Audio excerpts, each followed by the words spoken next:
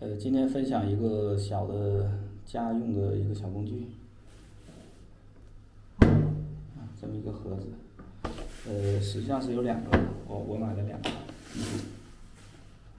因为它是自由组合嘛，可以买几个也可以，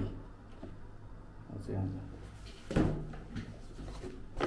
呃，这个上面呢，这上面是有时间，有时间的。是，这是放鸡蛋的，呃，这就是一个月从一一直到三十一，可以计时，记一下哪天放它的。然后呢，这个里边是这样子啊，呃，这个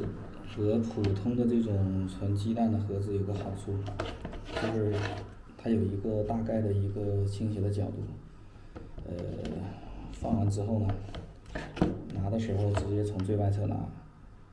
它就可以自动的往前这个滚出来，不像传统的，你要把整个的一个全拿出来，这边用完了，里面的拿不到，要把要把这个储存盒抽出来。